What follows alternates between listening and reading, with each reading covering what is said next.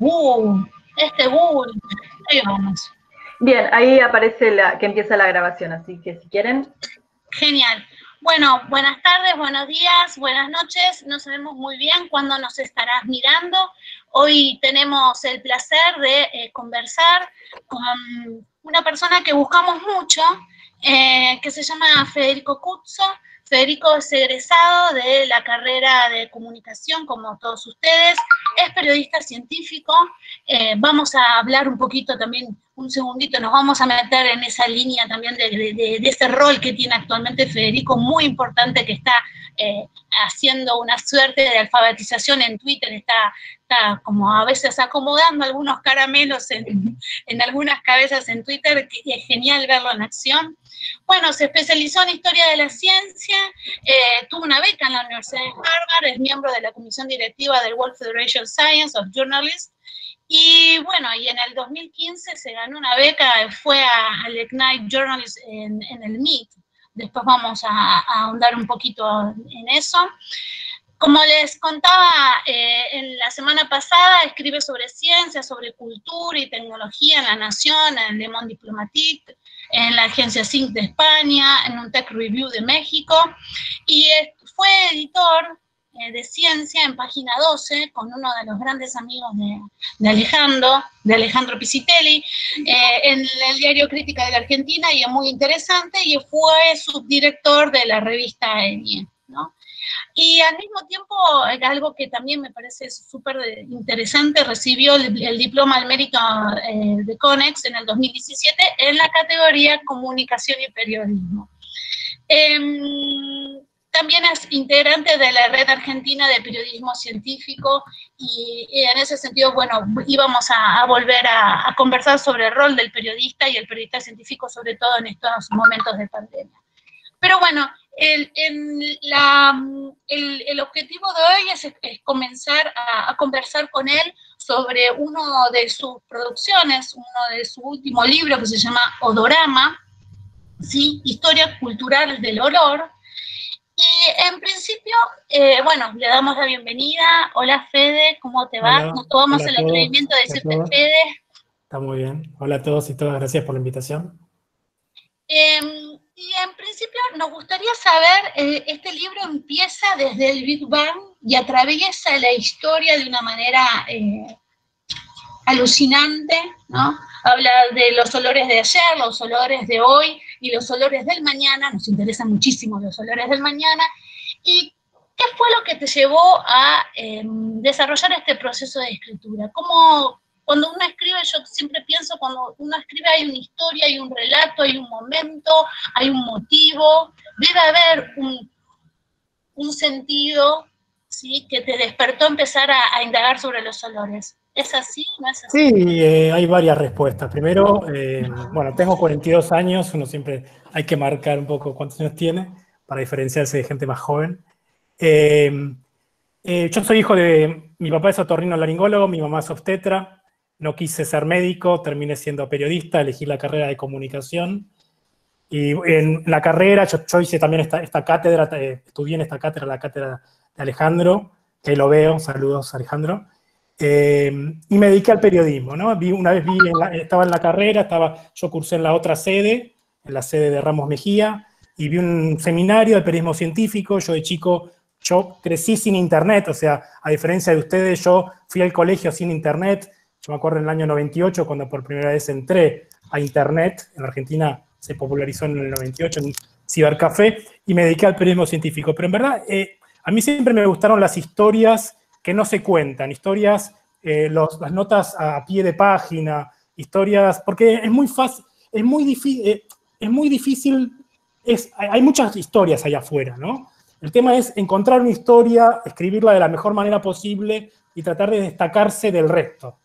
Eh, entonces me pasó que en el año 2015 yo fui a la Universidad de Harvard y al MIT por una beca, y lo que me pasó es que viviendo en Cambridge, en Estados Unidos, había olor a canela en todas partes. Eh, no sé si alguno de ustedes... Roles te comías roles a morir. Exacto. Y, lo que hice es, yo tenía que tener varios proyectos, yo también investigo mucho la historia de la ciencia ficción, eh, ese fue otro de mis proyectos, y, y, me empecé a hacer la pregunta por el olor. Este es un libro que busca hacerse una pregunta, es la pregunta por el olor. Me empecé a preguntar por qué la sociedad norteamericana eh, hay tanta presencia del olor a canela, ¿no? Eh, entonces, eso devino en conversaciones, entrevistas, y fui construyendo este libro que, se, lo edité el año pasado. Y, contanos, eh, en, esta historia del olor, eh, vos mencionabas que eras hija, que sos hijo de médicos, yo soy hija de médicos también, y hay un tema con el olor eh, muy, muy fuerte, ¿no? Viste que los médicos tienen todo un procedimiento, tiene que, eh, no te digo que, que, nosotros hemos nacido en casas en donde el guardapolvo tenía que ser blanco inmaculado, no sé si a vos te han vuelto loco por tener el, guardapolvo blanco inmaculado, eh, mi padre era cirujano y, y, odiaba, y mi madre era química, así que imagínate que en mi casa había un olor a sanitizante como el que ahora tenemos nosotros en nuestra cocina. ¿Qué olores había alrededor tuyo cuando eras chico? Y a ver, los olores propios de la argentinidad, como el olor a mate, ¿no? el olor, me acuerdo de chico, el olor de la plastilina. Eh, ese es el tema con los olores. El olor es, así que yo te muestro, tengo varias diapositivas sobre eso. Eh, a ver, lo que te decía antes es que tenemos una noción del pasado como el pasado de ruinas, ¿no? Lo pensamos el, el, pasado en términos como algo que estuviese, está atrás que no nos toca, cuando el pasado ah, dialoga con el presente todo el tiempo, ¿no? Y, lo gracioso es que cuando uno piensa en el pasado, uno lo piensa muchas veces, esto es algo que yo pienso mucho, ¿no? Lo piensa a partir de la construcción de la narrativa hollywoodense, ¿no? Uno piensa en Cleopatra como Elizabeth Taylor, ¿no? Uno piensa, no sé, en Espartaco, ¿no? De, de la manera hollywoodense. El tema es que esta es una construcción narrativizada del pasado, el pasado no es así. Y lo que a mí siempre me interesó en esto, yo siempre me hice la pregunta, ¿cómo sonaba el idioma de los egipcios? Algo que, no se sabe. ¿Cómo sonaba la voz de San Martín? Hay muchas hipótesis, por ejemplo, que San Martín hablaba de un tono españolizado, ¿no? Eh, son todos tipos de, preguntas cuyas respuestas no hay un registro histórico. O sea, no hay registro histórico de cómo sonaba la voz de San Martín. ¿Por qué? Porque el fonógrafo se inventó a mediados del siglo XIX y, y no existe un documento que, que, narre la, voz de San Martín. Y, hay muchos textos que cuentan esto. Hay, hay, una serie de historiadores que, que, que ponen la cuestión en, no sé si están viendo mi pantalla. Sí, estamos viendo perfecto. Vimos, vimos tus ruinas. eso es, el, eh, tus ruinas ahí es, es, la historia también de, de, un primer santuario de agricultura. Exactamente. ¿no? es un santuario que se descubrió hace muy poco, en donde había toda una práctica sobre la comida y se, ahí se, se empezaron a descubrir capas y qué se cocina y qué olor tiene. Está interesantísimo. Sí, pero lo que tengo es, ¿cuál es nuestra imaginación respecto al pasado?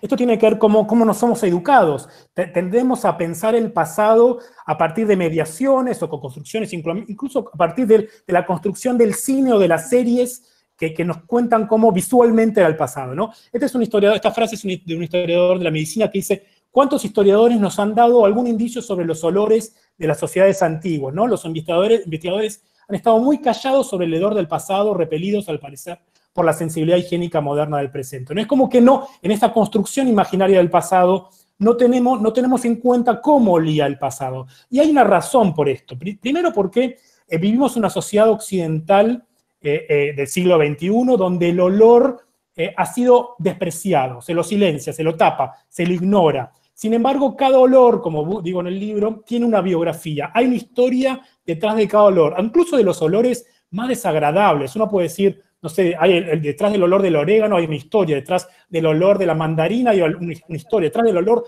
del mate hay una historia de, desarrollo hasta explotación de un modelo agricultural, agroganadero de un país. Sin embargo, en Occidente tapamos los olores. Y quizá, luego voy a hablar quizá del olor del cuerpo, que es el gran tabú occidental. Pero como ustedes saben, saben, vivimos en una época tan dominada por lo visual. Somos invadidos por lo visual. Lo, lo interesante de esto es que eh, al permitir, al hacerse la pregunta por el olor, esto lo aprendí mucho en el seminario de Christian Ferrer, eh, la herramienta esta de desnaturalizar, hacerse la pregunta por, por las cosas, en verdad no hay olores ni buenos ni malos. uno, uno, distingue que me gusta este olor, me, desagrada ese olor, pero en verdad hay una construcción individual y social de los, de los, olores, ¿no? Entonces, lo, lo, que yo hago en el libro es indagar sobre cómo se construye históricamente los olores, cómo cada cultura en Occidente y en Oriente hay una gran diversidad olfativa. La manera en que olemos no es la misma ni siquiera entre ustedes ni yo. O sea, vos sabés, por ejemplo, que las mujeres tienen una mayor capacidad, un umbral mayor de detección de olores que los hombres. Eh, entonces, también en, cada cultura tiene su, su, rango de qué olores eh, determina que son agradables y cuáles son agradables, ¿no? Entonces, ¿Puede ser como una interfaz? ¿Podemos pensar el olor como interfaz? Sí, Relacional me refiero, porque viste que a veces vos no te acercás a determinados lugares por el olor, ¿no? Como, sí, fíjate que, barreras. Fíjate que, en cuanto a la olfacción, o sea, nuestra capacidad de oler, tiene dos caras, es como una moneda. Primero tiene una parte biológica que tiene que ver con nuestros receptores en nuestra nariz, con nuestro centro olfativo, que se encuentra en la parte relacionada con la memoria, no está en la parte del córtex racional, sino tiene que ver con la parte de la emoción, por eso los olores nos producen tanta, tanta emotividad, ¿no?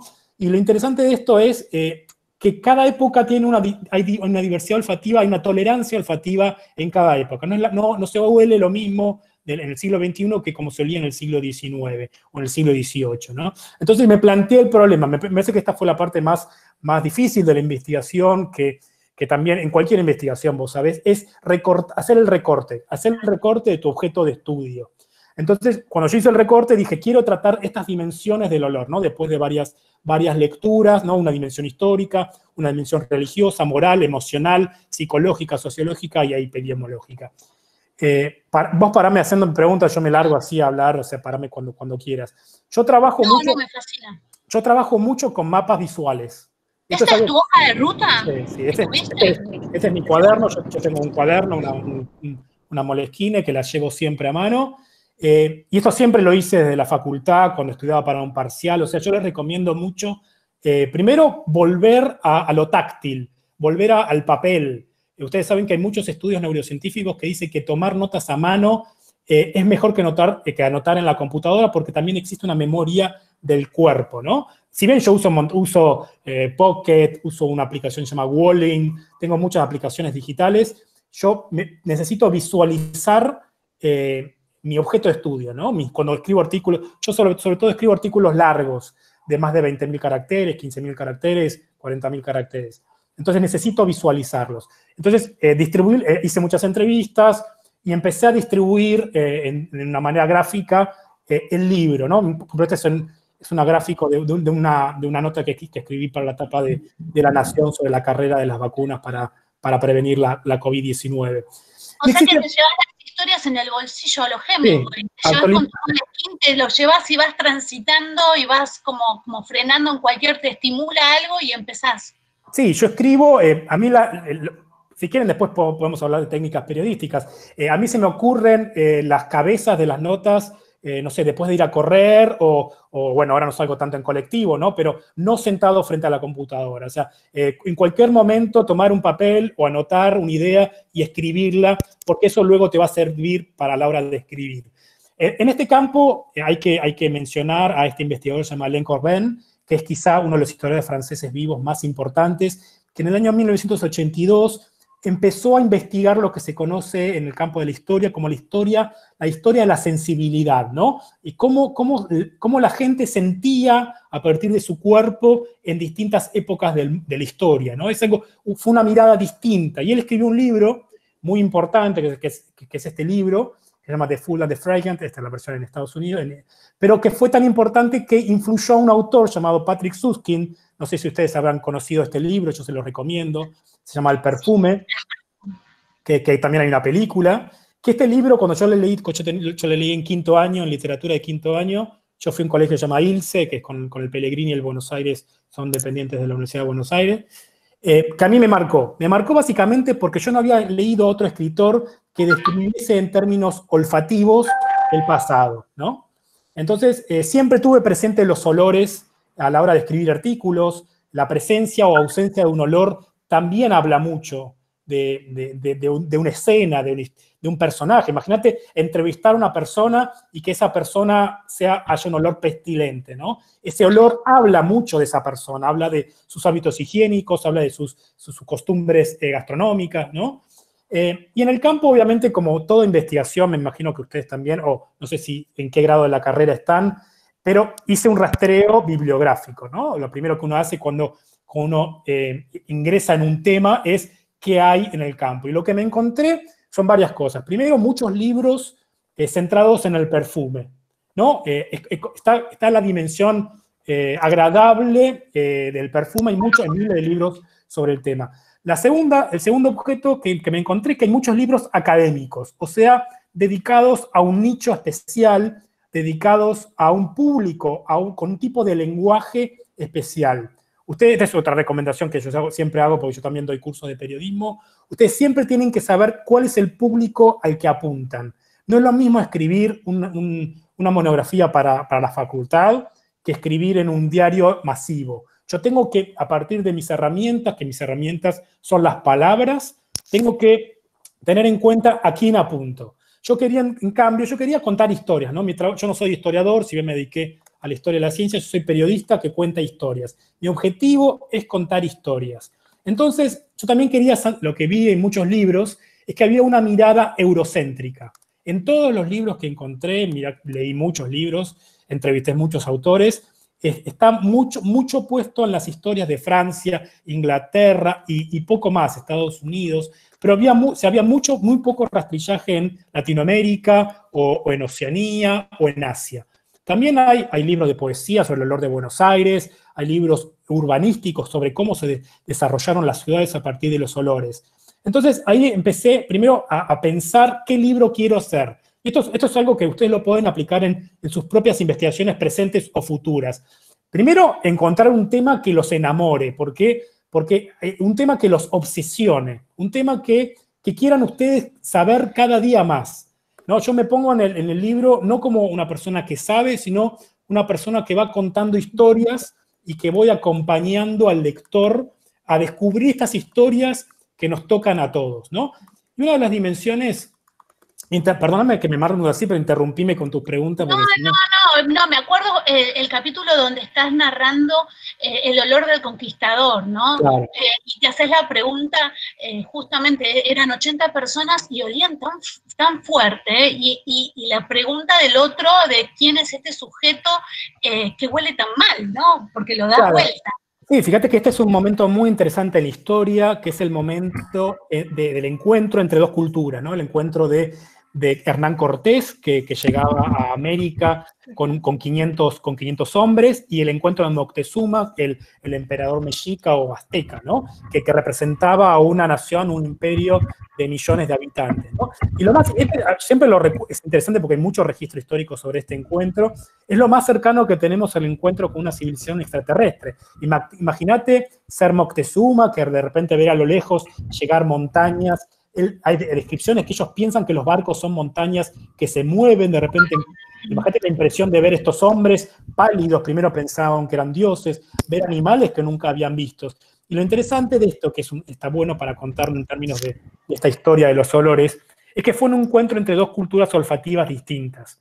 Imagínate 500 hombres que no se bañaban hacía meses, que venían de una cultura donde el baño era despreciado, comparado con una, una cultura como la mexica, donde hay muchos registros de baños cotidianos, en donde hay una cultura higiénica distinta. Entonces, las manos, vos hablas muy de, los hábitos de antes de comer, de las manos, de las costumbres, y como que el, español esto directamente lo mira hasta con desagrado. Y, lo interesante es eso, que en este encuentro de culturas, además de traer animales, además de traer eh, armas nuevas, los españoles llevaron un gran invasor que fue la enfermedad, ¿no? Distintos virus, ¿no? Que, es lo que produce eh, el declive también de, la civilización maya, azteca y demás, e inca. Y es muy interesante, ¿no? Porque la, gran frase histórica es los europeos les llevaron la, nos llevaron la, trajeron la peste a América y América le regaló el chocolate a, Europa, ¿no? Vos sabés que este es, la, este es el primero, la primera imagen de la entrega del chocolate eh, del siglo XVI es, muy increíble cómo los primeros textos de, europeos comiendo chocolate por primera vez, ¿no?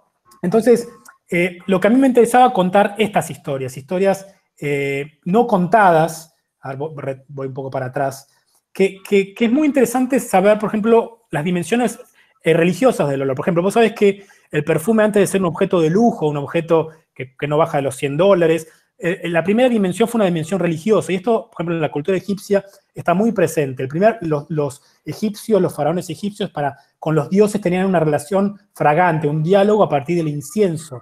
Esto es común de todas las religiones, en la religión cristiana, el judaísmo, eh, tienen una relación con los dioses, una relación olfativa, en especial porque conciben a los dioses como seres fragantes. Esto se puede ver en el cristianismo, en el judaísmo.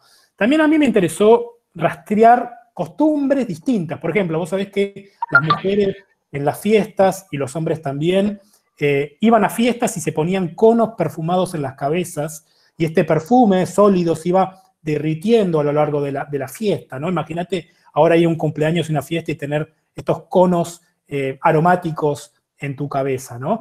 Entonces, eh, esto también es otra escena muy interesante que ocurrió en el año 1922, cuando Howard Carter, no sé si lo conocen, yo soy muy fanático de la egiptología, estudié... Tutankamón. Claro, cuando descubre la tumba de Tutankamón, y la descubre no porque hubiese sido Tutankamón, como todos saben, un faraón importante, sino porque una, era una, de las únicas tumbas que no habían sido tan, tan saqueadas, Howard Carter describe en su, en su biografía cómo eh, quema, vos sabés que Howard Carter corta, de casi destruye el, sarcófago de, Tutankamón y encuentra una sustancia negra como el betún, que ahí se ve en la imagen, y la quema.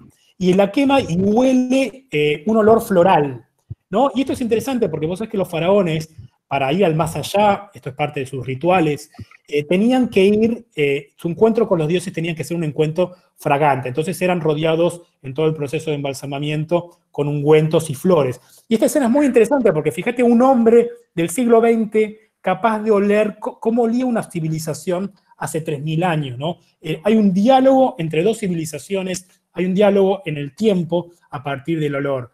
Y también esto me llegó a indagar cómo los griegos imaginaban a los dioses, los imaginaban como seres fragantes, ¿no? Y esto va, fíjate que esto va construyendo la noción del cielo cristiano. Vos sabés que la noción del cielo cristiano en los primeros siglos es de un paraíso también para las narices, es en, oposición a la construcción cultural del infierno como un lugar pestilente, ¿no?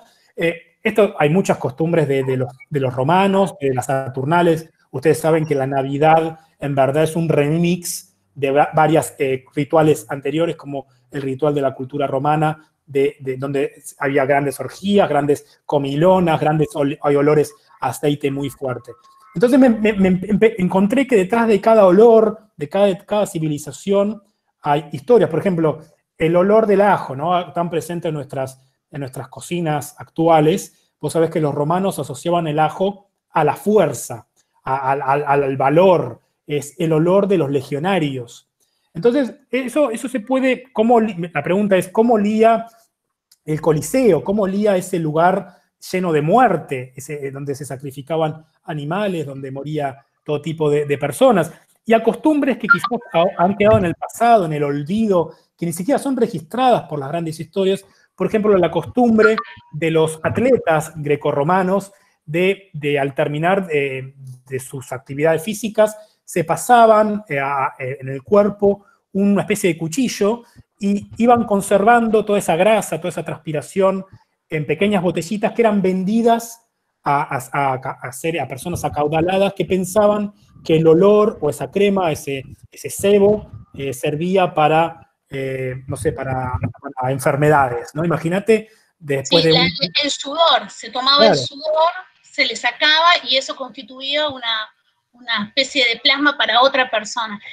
Sí, imagínate después de un partido de fútbol de Messi, que Messi se sacase el sudor y vendiese el sudor de Messi, eh, el olor de Messi como... O para ponértelo a la piel. Claro.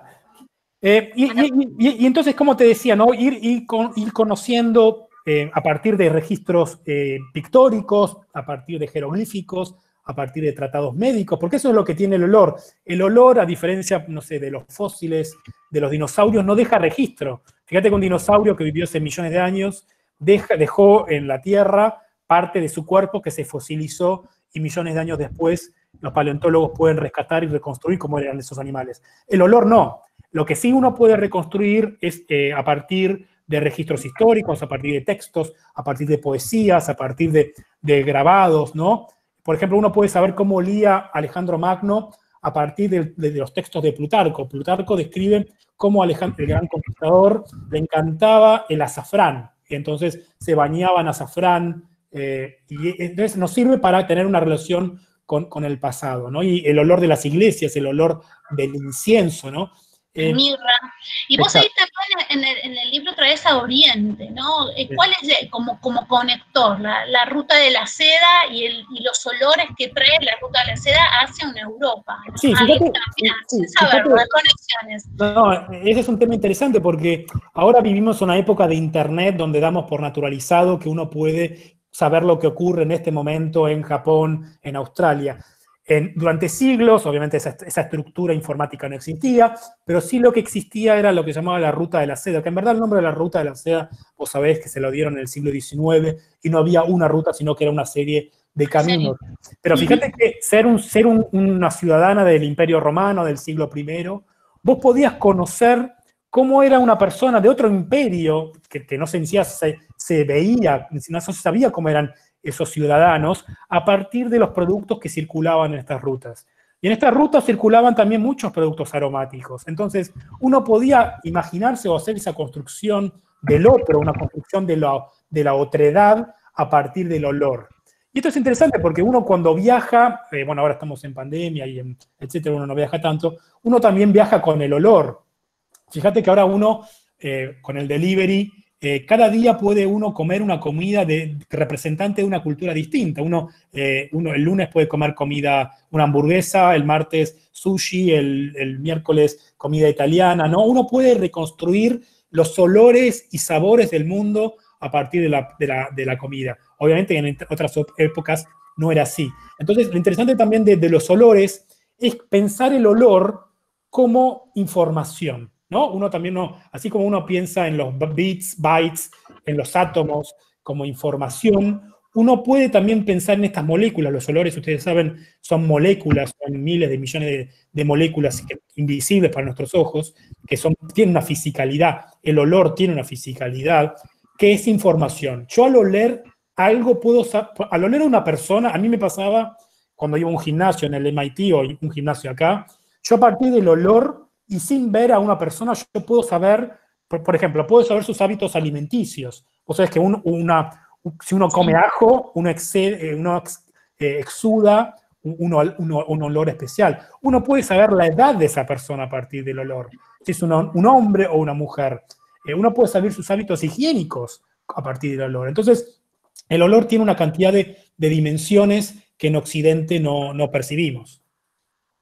Y en la, evolución, que, ¿cuántos años tardaste en escribir? Porque es una investigación, eh, la que hiciste en el libro, es, es, una mega obra. Si yo me fijaba la bibliografía, ¿qué tuviste? ¿Tres años? ¿Cuatro años? Sí, pero siempre como, como todas las investigaciones son investigaciones en paralelo. O sea, yo cuando cada vez que hacía una entrevista a científicos, ya sea para escribir una nota. Esto también es otro, otro tip que les recomiendo mucho. Cada vez que yo al terminar la entrevista le hacía una pregunta referida a un olor, ¿no? a, un tema.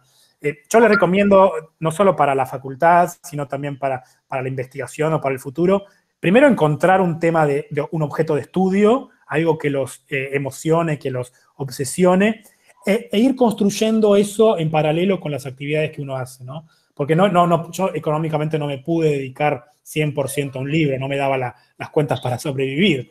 Eh, pero sí, fue un tiempo bastante largo. Es súper minucioso.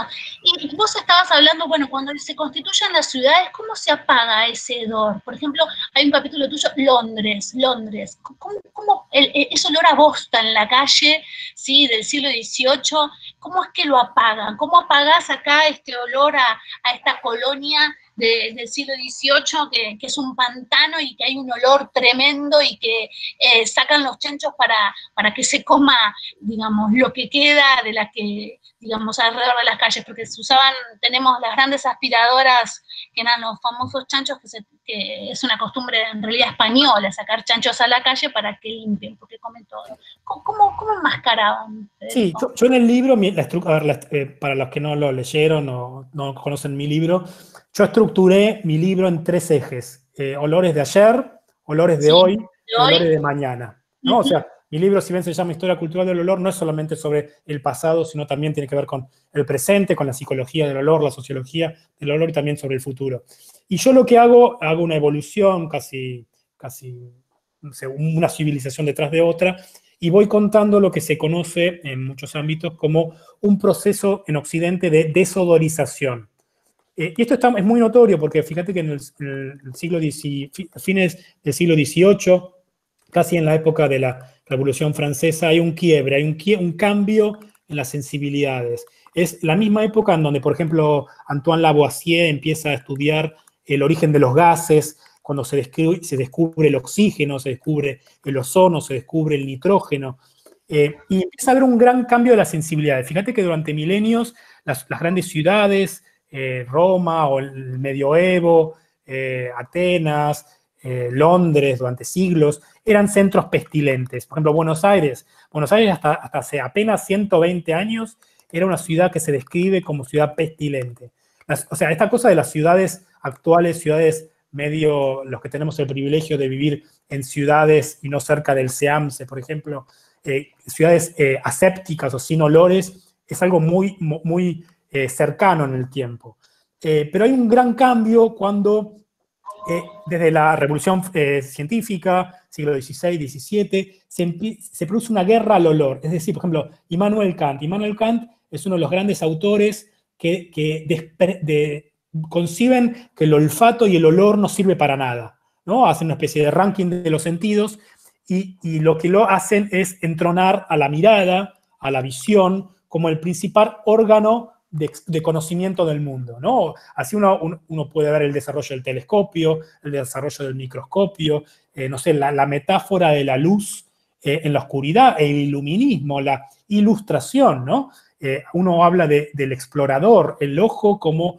¿Por qué? Porque la mirada te, produce, te, permite algo básico que es mirar a la, lejanía. En cambio, el olfato, el olfato y el olor, ambas caras de una misma dimensión, es un sentido de la cercanía, ¿no?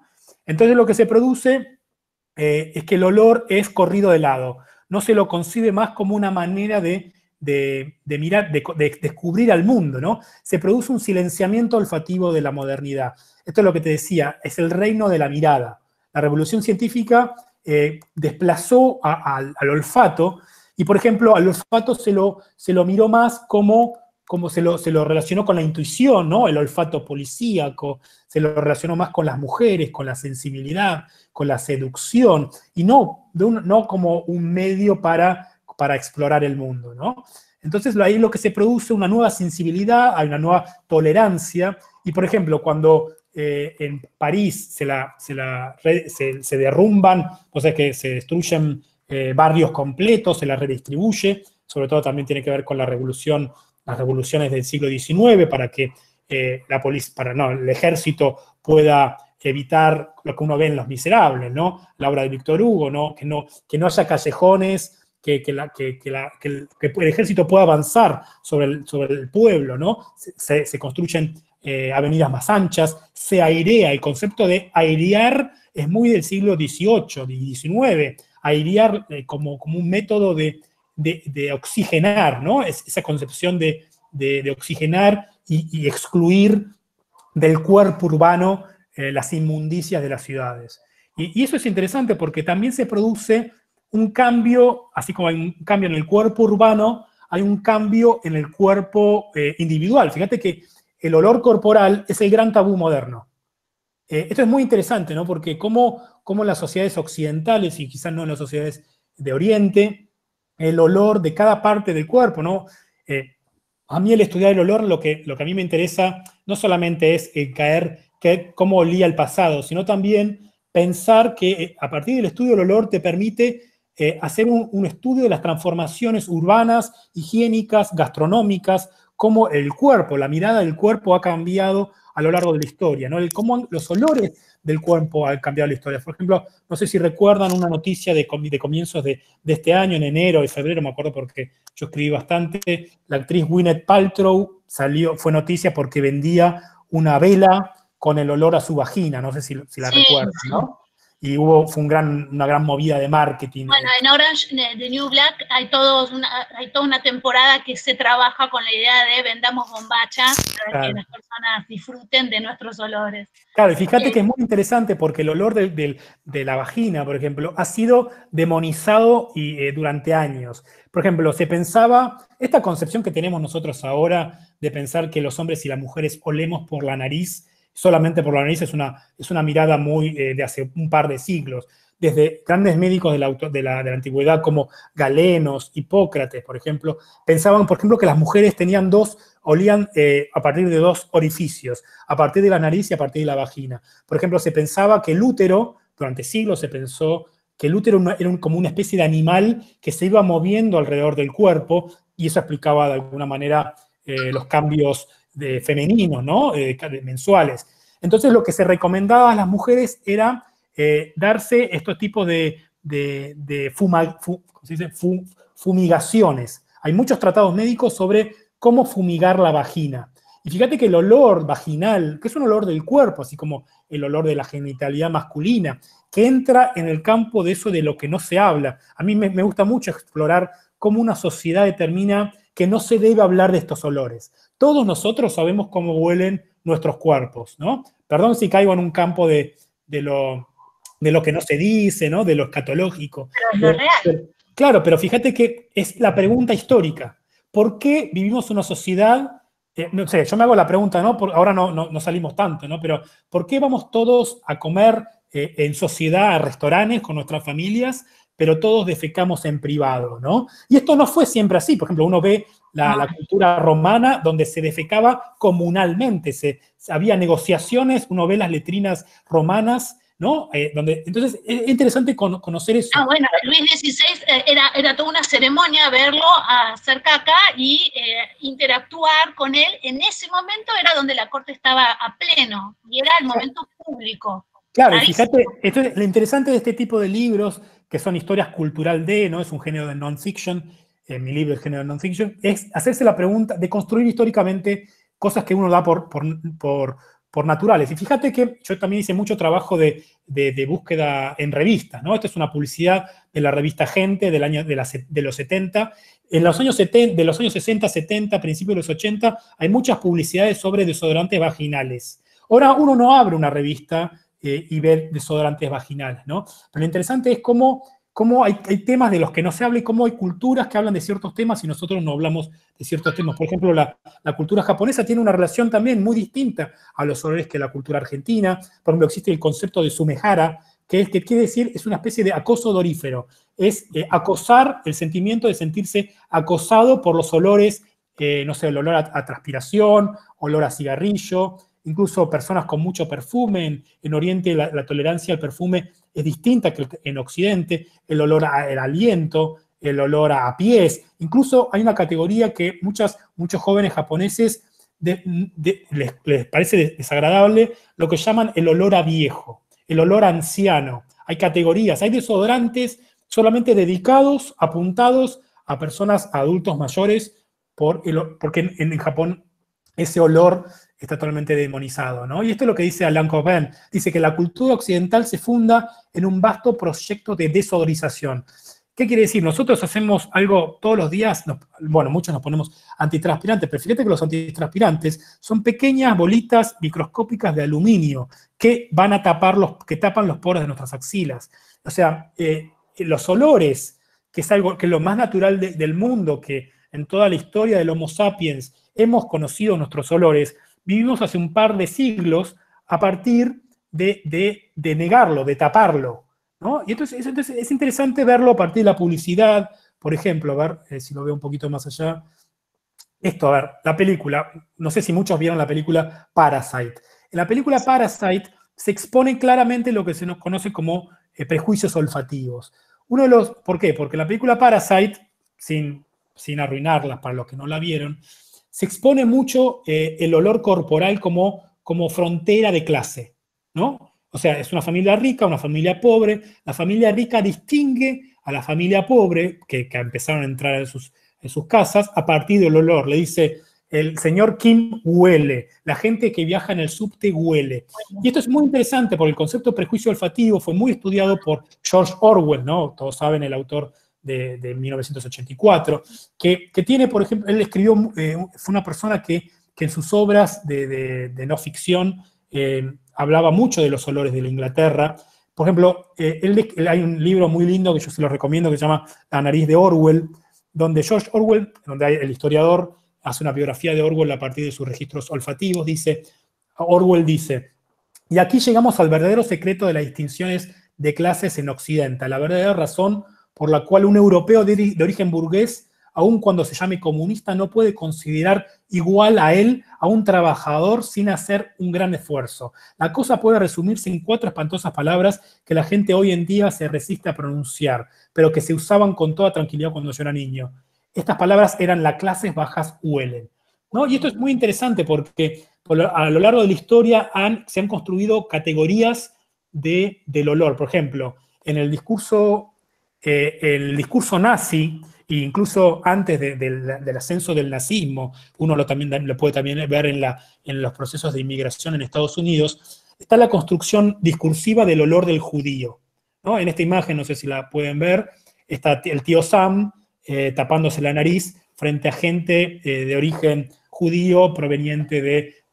y, lo, lo, construye como un ser hediondo, ¿no? Y esto está muy presente en el discurso nazi, en el discurso que se, construye la frase el olor de Con las ratas, con lo más bajo del mundo, por, digamos, porque justamente es, ese lugar de, residuo. sí, fíjate que también se hace la misma, es una construcción que la podemos vivir hasta el día presente, ¿no? Está con el olor, el olor del negro, el olor del inmigrante, el olor del refugiado, el, olor del el olor, por ejemplo, el olor del choripán, ¿no? Cuando asumió Alberto Fernández, ¿qué es lo que, es lo que se describe siempre de las, de las marchas? El olor del choripán. Y fíjate que es muy interesante el concepto de olor a choripán, ¿no? Porque fíjate que el choripán es un, es un alimento transcultural. ¿Qué quiere decir esto? Que es transclase, que, que vos lo puedes encontrar en los restaurantes más caros como en los, eh, restaurantes más de clases más, más, más bajas, ¿no? Y, y sin embargo se asocia el olor del choripán con un sector de la población. Entonces, esto lo vemos también, el olor de la mandarina se lo asocia mucho con la gente de la cultura boliviana, ¿no? De la, eh, entonces, como cada olor también tiene una dimensión política. Esto lo describe, por ejemplo, Paul Oster, describe en la invención, de, en la invención de la sociedad, dice, eh, él habla, Paul Oster habla de que él como, como con el padre iba a, cobrar la, renta, ¿no? Y decía, él decía, lo más vivido es el olor, ¿no? Hablaba de los, de los edificios a los que entraba, como si la pobreza no fuera solo la ausencia de dinero, sino una sensación física, un hedor que te llenaba la cabeza y no te permitía pensar. Cada vez que entraba en el edificio con mi padre contenía el aliento y no me atrevía a respirar, como si aquel olor pudiera hacerme daño, ¿no? Me imagino que esto todo lo vivimos como cuando uno entra en un vagón de tren y lo golpea ese olor a pueblo, no lo que se llama el olor a pueblo, pero fíjate cómo uno tiene, eh, porque vivimos en una sociedad que, que eh, hace el olor del cuerpo como, como algo que hay que desterrar, uno no puede eh, eh, tener un mal aliento, ¿no? Uno queda desterrado, y sin embargo lo vemos con ojos, con ojos, con un ojo negativo, ¿no? Entonces es interesante ver cómo detrás de cada olor hay una construcción, incluso una construcción de poder. Esto se puede ver mucho en las publicidades de comienzo del siglo XX. Vos sabés que en el siglo, comienzo del siglo XX se introduce un nuevo producto, por ejemplo, Listerine, ¿no? El enjuague bucal que antes no existía. Las sociedades vivieron sin enjuague bucal durante siglos. ¿Y a quién se encontró como el público target de que había que apuntar? A las mujeres. Se, apuntó a las mujeres diciendo, nunca te, vas a, nunca te vas a casar, nunca vas a encontrar marido si, si tenés un mal aliento. Y eso se ve mucho en, las publicidades. No se, no se, apuntaba a los hombres. Recién en el 1930, con, el, con la gran crisis bursátil, se empieza a, empieza a ver publicidades que dicen no vas a encontrar trabajo si olés mal, ¿no? Entonces uno también puede ver publicidades de antitranspirantes, productos que no existían hasta entonces, por ejemplo, el de la derecha dice hermosa pero tonta, ¿no? Porque no, no conocía el desodorante. Entonces se, apunta a un público, esto es, esto es, de caras y caretas, que dice, niñas, ¿queréis marido? ¿Quieren casarse? Entonces tenés que oler bien. Esto muestra cómo la sociedad construyó el, olor. Esta publicidad de Tampax es genial, que dice, se asocia el olor, el olor vaginal. ¿no? Sos ahí, estás ahí de vuelta en el perfume, pobrecito, claro, me nació en el medio de los pescados. Fíjate, entonces, ¿cómo cada, por ejemplo, en el olor genital masculino, cuál es? El, el queso. Eso se ve mucho en las publicidades. La publicidad de Rexona se, se, codificó con el tiempo que cuando aparece un pescado eh, se refiere al olor femenino. Como aparece el queso, olor genital masculino. Esta es otra publicidad. Las chicas buenas no hablan de ciertas cosas. ¿De qué no hablan? No lo hablan del olor vaginal, ¿no? Lo mismo con Listerine. Y, en el proceso de, de, Yo siempre que veía algo, lo registraba, ¿no? Esto pasaba en un programa que no existe mal, más que se llama Infama, de, de América TV, y era, era la época, hace un par de años, de las novelas turcas, ¿te acordás? Entonces había un un autor turco que se llamaba Ergun. Yo no, no, no, recuerdo muy cómo era la, novela, pero era interesante los, los, comentarios de los actores con los que trabajaba, que decían de, esta, de esta, esta persona que era de origen turco, que era sucio y se lo asociaba con lo avaro, que se tiraba flatulencias, que no se bañaba, ¿no? Iban construyendo la construcción del otro a partir del olor. Y eso es muy interesante porque hay una criminalización del, del otro a partir de Y también hay una criminalización cuando no se hablan de ciertos temas. Esta escena, no sé si viste la película Call Me By Your Name, ¿no? De, de, muy linda película, donde el personaje, un, un chico se enamora de un, de, un, tipo más grande. Más grande. Y, y, se enamora de su olor. Esta es escena donde él se, se cubre con el olor del calzoncillo de, de, su, de ser, ser amado. ¿no? Lo interesante es que estas cosas no se hablan. ¿Por qué? no se habla cómo, uno sabe cómo el olor incide en nuestras relaciones eh, del otro. Y esta frase a mí me encanta de Sartre que dice, cuando olemos otro cuerpo lo poseemos al instante, como si fuera su sustancia más secreta, su propia naturaleza. ¿no?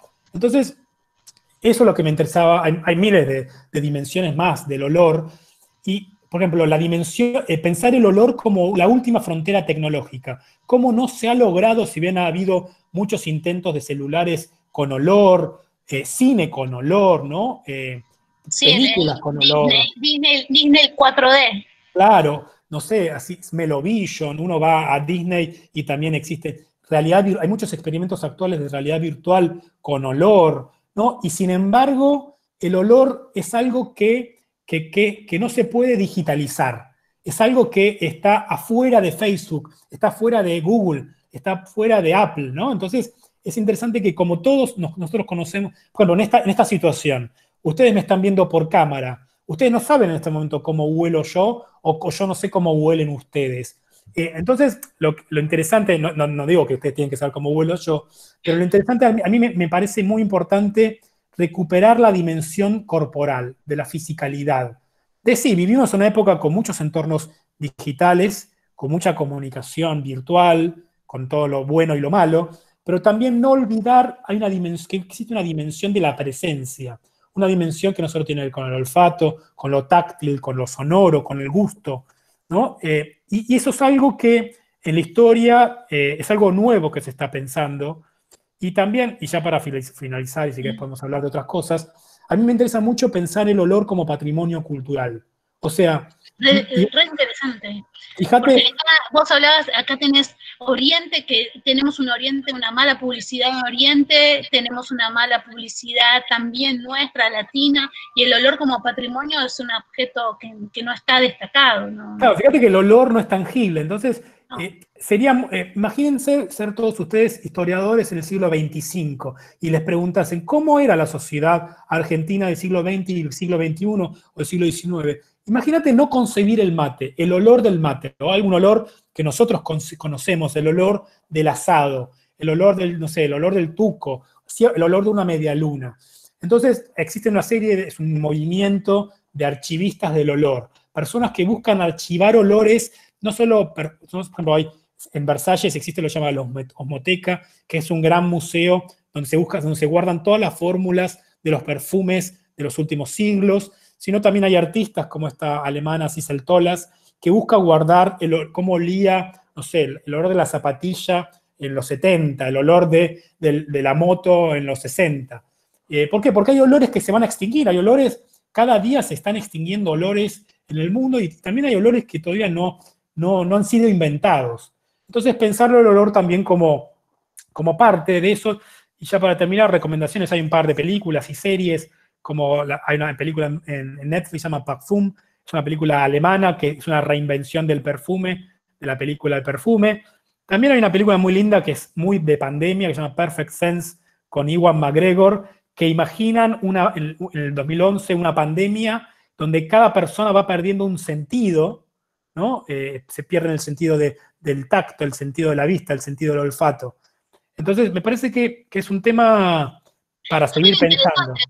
Que, que señalas, yo tengo, bueno, tengo varias amigas que han contraído COVID y han perdido durante 10 días eh, justamente lo que estamos hablando, el olor. Y ellas me decían que el vínculo con la comida y el vínculo con el espacio ya era otro. ¿no? Sí, fíjate que eh, el, olfato, eh, esto no sé si lo conocen, saben, el olfato es una de las áreas científicas menos exploradas. Hay, un gran cambio en los últimos 20 años, se está estudiando el olfato y se piensa que, la anosmia, que es la ausencia, la pérdida del olor producida por la COVID, eh, va a impulsar el estudio del olfato. O sea, eh, hay, gente, hay gente que nace sin olfato, hay gente que, que se llama congénita, y imagínate, el, lo que nosotros conocemos como sabor es casi un 80% olor. También tenemos nuestra relación con los demás, nuestros hermanos, nuestros hijos, nuestros padres, nuestras parejas, está mediada por el olor. O sea, e, y eso es lo interesante. Existe un discurso actual, que es el discurso de, de los medios sociales, de la social media, de, de, lo digital, que excluye el olor. Fíjate que el olor es una dimensión totalmente eh, que no, no forma parte de, la narrativa moderna actual. Entonces, eh, me pareció un tema, un, universo interesante para explorar. Y yo también eh, hice como una especie de test que cada vez que yo, cada vez que estaba avanzando con el libro, le contaba a alguien que estaba trabajando en este tema, yo veía que cada persona tiene una historia personal con el olor. Ya sea una relación con un ser querido que no está, que, extraña ese olor a una comida, o hay un olor que te... es el efecto prustiano, ¿no? El efecto de, la Madeleine, de un olor que te lleva a tu infancia, o un olor que, te cambia de ánimo, el olor del café a la mañana. Entonces, me parecía que, era un tema que no se había explorado mucho. Un tema que que, en realidad habla del encuentro con el otro, porque repone al otro muchas veces, ¿no? El, olor. Puedo hacer Ah, perdón. Ah, no, no, sí. Fui mientras, eh, eh, me encantó lo que contaba Federico, eh, fui mientras él iba explicando acá el chat, arde de ejemplos y, de, de, conexiones. Quería por ahí aprovechar en algún momento de hacer algunas preguntas que, quedaron por ahí. Si, puede ser. Sí, sí, dale, avanzamos. Eh, por un lado, Facundo preguntaba qué relación guarda el avance científico y su, inserción en la sociedad actual con la construcción social de olores pulcros y no pulcros, por un lado, y con la desodorización corporal del otro. ¿Está vinculado estrictamente? Sí, a ver, eh, fíjate, a, mí me fascina eh, yo soy estudiante fui estudiante de comunicación y analizar todo a partir de discursos comunicacionales. Por ejemplo, la construcción de lo que se dice el olor a bebé, ¿no? Uno lo puede ver, los desodorantes. Eh, ¿cómo, ¿Cómo se concibe el olor del bebé como un... Primero, porque es cierto, el olor del bebé es, en todas las culturas, es asociado con, como algo agradable. Pero el olor a bebé vendido en ese, en ese desodorante ambiental es una ficción, no es el mismo olor a bebé. Entonces vivimos en una época, hay un proceso muy interesante. Cuando yo hablo de, de, de este proceso de desodorización, no quiere decir que van a desaparecer los olores. Lo que yo digo es que hay una sustitución, hay una sustitución de, fragancias sintéticas que vienen a sustituir olores naturales. Por ejemplo, el olor a limón de los desodorantes. Eh, eh, dista mucho, o, me acuerdo cuando, cuando Macri en su momento, cuando surgieron los, ¿se acuerdan los vagones del subte de la línea A? Que, Tenían olor a limón. El, ese olor que te abrumaba, ¿no? Pero, ¿por qué? Porque hay una, una construcción social del limón, de la lavanda, como olores agradables. Hay otros olores asociados, por ejemplo, un, truco de marketing es si vos querés vender una casa, tenés que hacer pan o olor a, galletitas de chocolate para vender, para que la psicología funcione como herramienta de marketing. Y sí, hay una construcción de, la, de que el mundo debe oler de, determinada manera. Vos no podés presentarte en una entrevista de trabajo con olor como recién salido de jugar al fútbol, ¿no? O sea, y, esto a mí me pasó en Estados Unidos, eh, me pasó acá también, pero en especial en Estados Unidos, porque en Estados Unidos hay una cadena parecida a Pharmacity que se llama CVS, Y lo que yo veía ahí en Cambridge, eh, cerca de Boston, era que todos los empleados eran del sudeste asiático. Y toda la gente que iba, que iba a comprar era gente con un alto poder adquisitivo, como la gente de Harvard y Cambridge. Lo que yo veía, ustedes saben que en el sudeste asiático no está muy presente la cultura de los desodorantes, de los antitranspirantes. Tienen otra cultura, otra, otro, otra cultura olfativa. Entonces se producía un choque de culturas, un choque de culturas porque yo veía la cara de la gente, no de las personas de las cajas, veía una cara de asco frente a, estas personas que no veían, no veían que, como algo malo que no tener el olor a transpiración.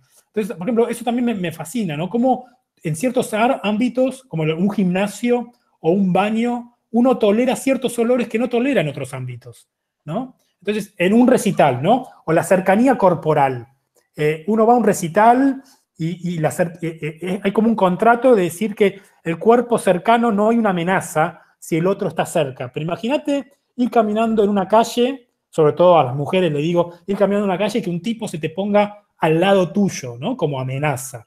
el espacio corporal se va reconfigurando según los ámbitos en los que estamos. Y con el olor pasa lo mismo. Excelente. Y también en este, hay preguntas desde el lado periodístico quizás, o desde el lado de cómo hiciste eh, o cómo pensar eh, para escribir. Eh, preguntaban también si no te limita a la hora de contar historias el hecho de pensar para quién se escribe, ¿no? Hacer una historia cultural con todo lo que conlleva, si, si no es una limitación, pensar ese, esa audiencia. Sí, a ver, les, voy a contar un poco de mi experiencia, porque hay una, acá hay una relación de identificación que yo también eh, tuve en esta cátedra, estudié comunicación. Yo estudié comunicación, eh, después también hice la, orientación de periodismo, ¿no? Eh, primero, una cosa a favor de esta carrera tan golpeada, simbólica, de la Universidad de Buenos Aires, mi nivel, cuando yo fui a la Universidad de Harvard, era el mismo o más alto que cualquier estudiante de Harvard. O sea, a mí la, Universidad de Buenos Aires, la carrera de comunicación, me dio una cantidad de bagaje cultural con todas las carreras que quizá en este momento, no sé en qué momento están de, la carrera, que uno puede decir, ¿para qué me va a servir esto? Yo les aseguro que le va a servir para algo. ¿Por qué? Porque yo entré como pasante en el, diario Página 12, yo eh, cuando estaba estudiando comunicación encontré un seminario que lo daba Leonardo Moledo, que era, un, periodista, un escritor, que ya murió, entré en el diario Página 12 como pasante, en el 2002, 2001, 2002. Yo me acuerdo que ganaba 300 pesos como pasante. Ahí fui ascendiendo y luego me convertí en editor de un suplemento que se llamaba Futuro. Y, mi gran problema que era al escribir es que yo venía de un bagaje, con un bagaje muy fuerte de semiótica, de, de semiología, ¿no? todo lo que se estudia en la facultad. Y, primero me, paralizó, pero después me di cuenta que uno tiene que escribir escribiendo para uno. En verdad, mi, mi truco, al menos en mi caso, yo escribo para mí. Yo escribo para leer cosas que no encuentro en otros lados. Entonces, eh, eh, contar la comunicación es un acto que también eh, de conversar. Uno conversa con los otros. Es como, a mí, yo me dediqué más a ciencia porque a mí me fascinaba volver a mi casa de chico y contarle a mis amigos las operaciones que hacían mi papá y mi mamá. Y lo que yo encontré cuando crecía es que ese discurso, el discurso de la ciencia, la cantidad de investigaciones que se hacen en la Argentina no se estaban contando. Entonces, ese acto de contarle a otro, che, fíjate que, por ejemplo, un acto de comunicación es estar en una fiesta y preguntarle a otra persona, ¿de qué trabajas? Yo, por ejemplo, hago mucho coaching, mucho trabajo de comunicación con científicos y les digo, una parte de la comunicación es estar tomando una cerveza con alguien y, que ambos se pregunten, ¿vos de qué trabajas? Y esa conversación es un acto de comunicación. Entonces lo que yo busco con, con mis notas, si bien tengo en cuenta que es un, un, registro gráfico, un registro escrito, que es distinto que la oralidad, yo busco contar historias. Y, la historia tiene que tener una acción. Alguien hace algo. Alguien en la ciencia es alguien descubre algo. Es, tiene que haber una acción. Por ejemplo, les cuento, yo ahora estoy escribiendo una nota que va a salir quizás la semana que viene en La Nación.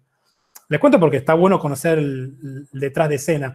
Y consiste en, dos historiadores que están eh, en este momento buscando eh, rescatar el material fílmico de la Antártida. ¿Por qué? Porque, y esto es off the record, bueno, entre nosotros, porque en la Argentina es off the record porque hay grabación, pero lo que digo es que en la Argentina no hay política de preservación del material histórico. Hasta recientemente. Entonces me están diciendo, que, se encontraron muy pocas fotografías, muy poco material eh, eh, visual, porque, porque se, se, utilizaron las, los films, como pasó en toda la historia de la televisión, para regrabarlos encima. Entonces la historia es el trabajo de estos dos investigadores que hacen una acción. La acción es rescatar una lucha por la memoria, una lucha contra el tiempo. Es alguien haciendo algo. Y yo a la hora de contar una historia, y no sé, cuando vean los capítulos del libro o alguna de mis notas, yo tengo, el suspenso es fundamental. O sea, yo tengo que dosificar la información de una manera, no contar todo al principio. Yo tengo que tener una escena, una escena en los primeros párrafos. Después, si quieren, si quieren por privado, me, escriben y yo no tengo problemas en hablar. La, idea de la, de, la, pirámide invertida no existe más. O sea, esa cosa de, contar todo al principio eh, no sirve nada. Yo tengo que, eh, poner una escena, una escena que atrape la atención del lector. Entonces, eh, sí, me limita, eh, me limita a pensar que, me, está, que me, va a leer mi mamá o mi papá, pero yo, eh, quizá por deformación profesional, cuento una historia sin pensar las personas per se, ¿no? O sea, es como que la audiencia, yo sé que está la audiencia, pero no siento que me está mirando, ¿no? Es como, a los hombres que están escuchando, no es como ir al baño y todos que, me estén mirando mientras estoy meando, no es esa situación. O sea, que, no, los, que no los paralice esa situación.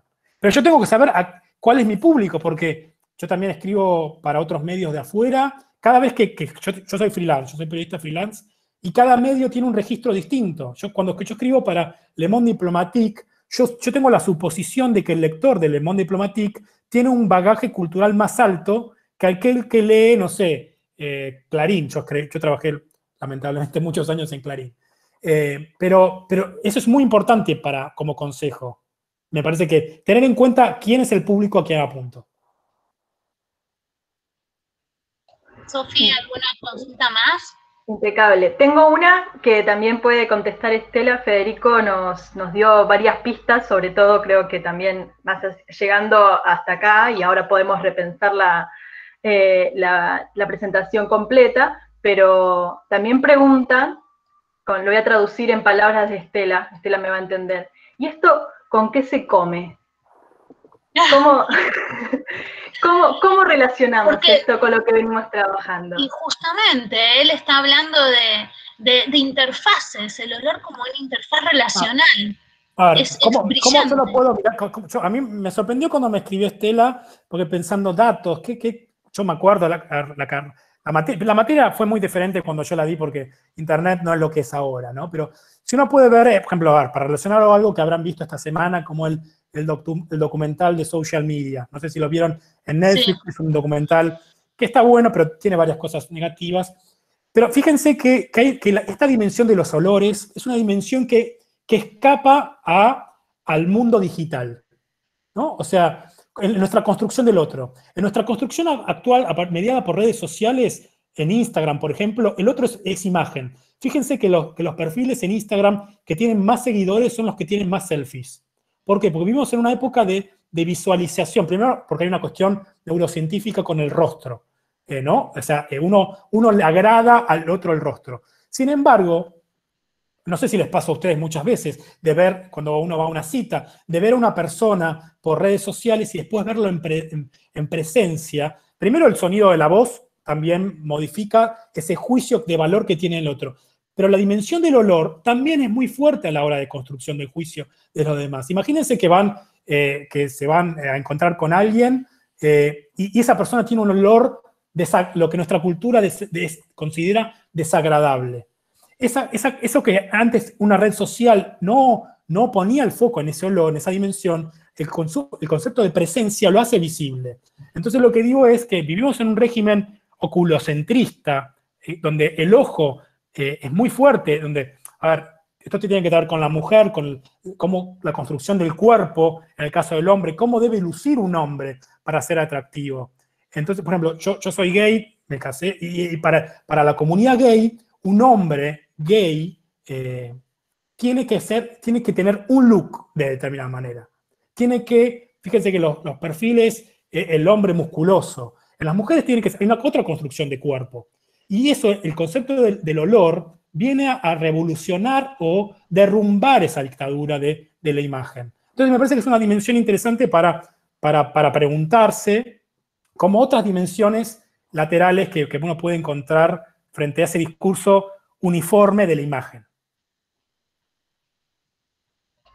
se come y se come muy bien, ¿viste, Sofi? ¿Con qué se come? Y es, un vínculo. en una interfaz, eh, cualquiera, sea, es una nueva arquitectura, él te la está describiendo. Cuando vos lees Olorama, lo vas siguiendo. Y, te, y es verdad, eh, una de las cosas que a mí más me gustó del libro, creo que en un momento te, te en el verano, era, es que vas de la mano de él. Él va, llevando, va llevándote por los laberintos de, de las épocas, eh, de los sitios, de los momentos y vos vas describiendo y vas descubriendo. Es muy interesante. También esta cuestión de, este higienismo eh, que el COVID también nos está trayendo, porque también el COVID nos trae un nuevo, un nuevo higienismo. ¿Cómo será el olor del futuro? ¿no? Eh, ¿Cómo será nosotros vincularnos con el otro? Eh, justamente tu comisión, Sofi, trabaja el vínculo con el otro y la construcción de un sujeto en línea en vínculo con otro. Entonces el olor es una variable que dentro de digital no está presente y a mí me parecía brillante empezar a traer eh, estas alternativas y estas, digamos, alternativas y estas miradas por fuera que nos permiten repensar otra vez el objeto.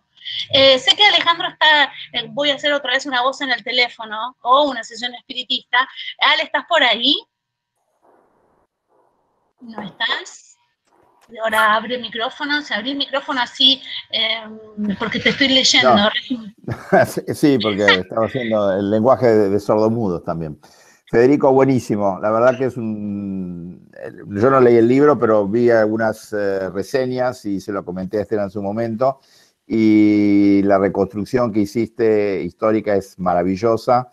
Efectivamente, el olfato es un un sentido olvidado, es un sentido marginal. el, ojo todo lo puede, todo lo ve, todo lo quiere. Y mm, ahí hablaba alguien de memoria olfativa, una de las chicas.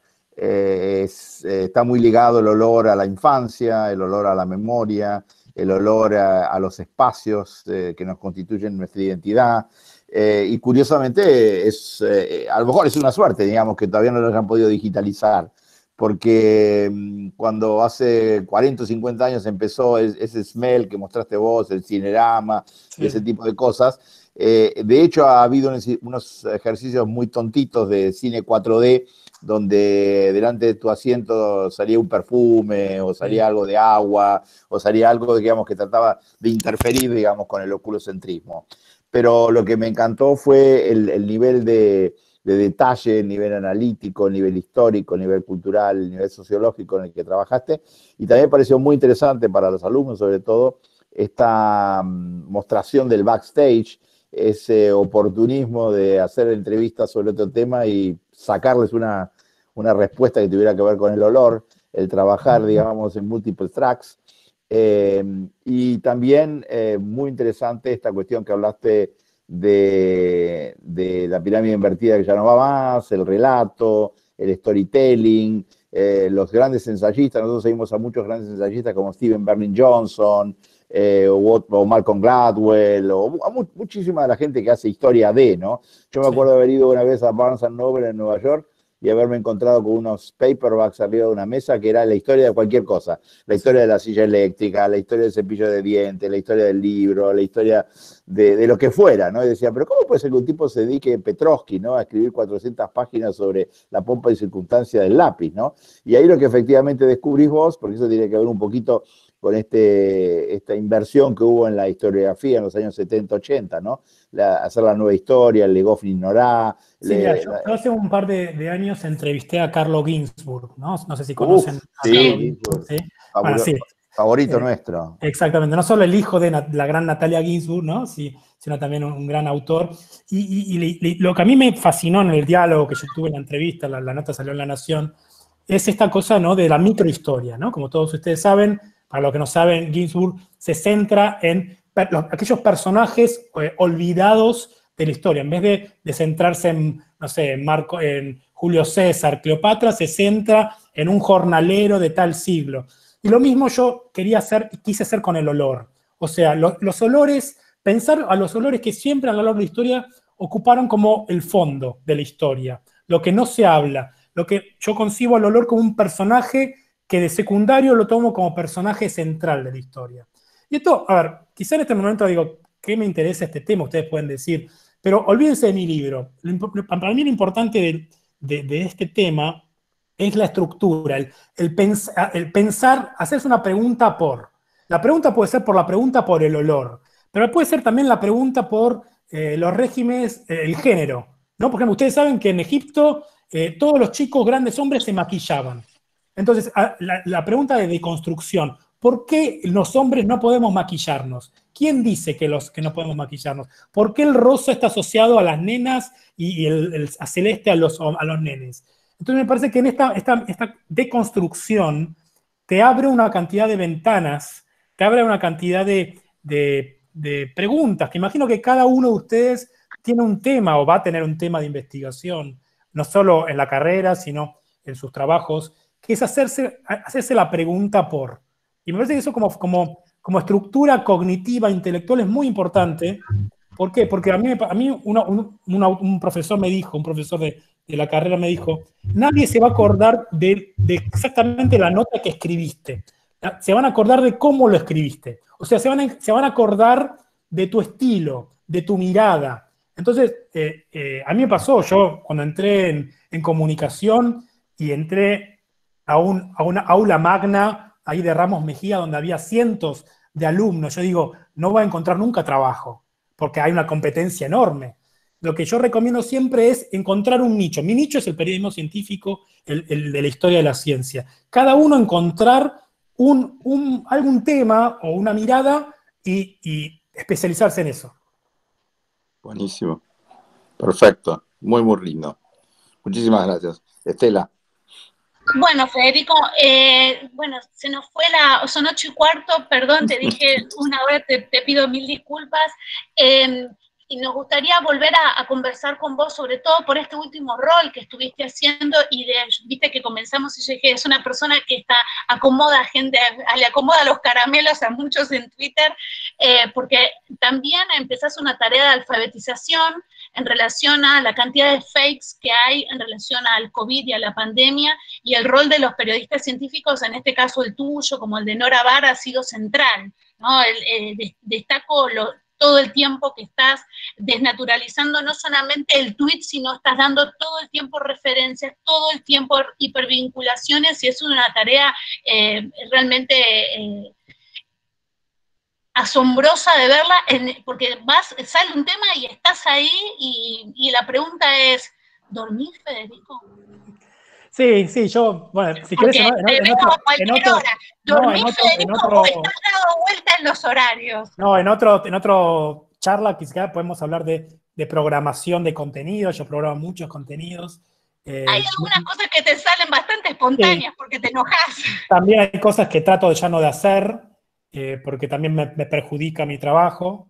¿Por qué? Porque uno en ciertos discursos, yo, yo también estoy yendo en contra de, muchos medios para los que trabajo, ¿no? Pero me parece que hay un tema de salud pública más importante que, que es luchar contra la cantidad de falsedades que, ah, con un nuevo modelo de, un nuevo modelo de contenidos que, que para mí es peligroso, que, hay medios que atentan contra la salud pública. Entonces me parece que el trabajo, no solo mío como periodista, sino de cada uno de ustedes también es, es primero siempre es ir por la evidencia, hacerse la pregunta por la evidencia. ¿De dónde, de dónde sacaste esto? ¿De cuál es, qué, qué, o sea, hacer la pregunta. Y... Sí, la, fuente. Eh, me gustaría que les cuentes a los chicos y lo último, tu rol en el Ignite Center y de los cursos que estuvieron dando gratuitamente. Me parece que eh, yo tuve varios de esos cursos, han sido brillantes y siguen trabajando. Y hay algunos cursos en donde vos fuiste tutor y me parece súper importante al grupo de, de, estudiantes que está con nosotros que conozca. Eh, yo después les voy a postear el, el, sitio, pero ¿qué tipo de cursos ustedes estuvieron desarrollando justamente trabajando la infodemia en, el, aspecto del COVID. Sí, hay, una, organización que se llama Night Center eh, de una universidad de Estados Unidos que organizó un, curso con la, con la, OMS, un curso mundial, plataforma en varios idiomas, sobre todo orientado a, periodistas generales sin conocimiento en periodismo de salud o periodismo científico. ¿Por qué? Porque ahora muchos están cubriendo la, pandemia, entonces eh, la especialización, en cierto sentido, yo siempre recomiendo la especialización en cualquier tema. ¿Por qué? Porque te sirve para, para olfatear qué es fake news, para saber a quién entrevistar, qué preguntas hacer. Ese fue el primero, fue uno de pandemia que está, es gratuito, se puede ingresar. Después, si quieren, les puedo dar el link, que lo dio una periodista norteamericana que yo conozco hace muchos años, que se llama Marin McKenna, especialista en enfermedades, también un periodista francés y una periodista de Brasil. Y otro curso que dimos junto con Natalia Suazo. Con Natalia Suazo, yo fui el editor de su primer libro que se llamó Guerras de Internet, eh, que me parece que, está muy relacionado con los temas que cubren en la cátedra. Eh, que, trató más ver el periodismo tecnológico. Eh, una de las hipótesis es que en la Argentina no existe mucho periodismo tecnológico, porque en la Argentina lo que abunda en el periodismo es, es la venta del gadget, ¿no? Esto Alejandro lo sabe más, más que yo, en vez de, de, pensar la tecnología y pensar cómo nos afecta o cómo nos moldean la actualidad en nuestra psicología, en, nuestra, en nuestros deseos. Entonces fue un, un, seminario que, que va a estar online, también gratuito para, para tratar temas de tecnología. Bueno, eh, muchísimas gracias, todos los hilos que nos has dejado. Mañana voy a, a seguir algún, algún olor, ¿sí? ¿Sí? Eh, como, como señalaba Saprus hace un rato con su Magdalena, voy a seguir algún teco Magdalena que nos regalaste hoy. Y te hiper agradecemos y bueno, eh, te veremos en Twitter y, y te seguimos. Sí, yo en, Twitter consigo mi obra también como una obra expandida en redes sociales, o sea, yo mi libro también, mi libro no solamente se acaba en, las hojas de papel, sino yo también cuento muchas historias que no están incluso en el libro por Instagram eh, y también por Twitter, o sea que, o también me puede contactar por ahí y, me gusta devolver a la facultad que me dio tanto eh, hablar con ustedes. Así que gracias por la invitación. Bueno, muchísimas gracias, Fede, por, estar esta tarde con nosotros. Hasta luego. Chao, chao.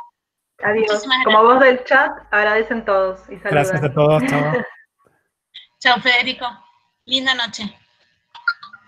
Bueno, eh, si quieren, eh, ahora hay un grupo que son 8 y 20, fue una sesión movida, eh, súper interesante. Em, les prometo, vamos para darle lugar al práctico que va a empezar ahora a las 9 a los dos prácticos que comienzan, así Sofía se toma un cafecito y junta fuerzas. Eh, mañana hacemos una sesión de, de, un ping-pong de preguntas y respuestas con respecto de qué tengo que leer esta semana. Eh, em, así como más gracioso, los voy a guiar SNIRSEC es su tema, muchachos muchachas, muchachos. SNIRSEC, capitalismo de plataformas, Sontag, es una caricia al alma que les estamos regalando. ¿sí? Hay varios textos que nosotros les estamos poniendo para que el texto de Snowden, bueno, que justamente comentaba anteriormente que eh, hay noticia con Snowden en esta semana, entonces tienen el libro de de este perfil, un libro que está recontra reeditado. Y también les, les dejamos eh, el texto de Sontag y le dejamos el texto de Lanier, que es un libro. Si quieren leerlos, estaría buenísimo. Si no pueden, vamos a centrarnos en ese y mañana les voy a seguir guiando. ¿sí? Les deseo una muy linda noche, una hermosa cena, eh, no en mi caso, pero porque siempre quemo, pero les deseo una muy linda noche a los dos prácticos que van a comenzar en breves instancias, mucho power, ¿sí? Eh, agua, por favor, ¿sí? Agua y no otra cosa, así duran. Y, y bueno, les deseo una linda noche. Los vemos mañana. Chao. Chao.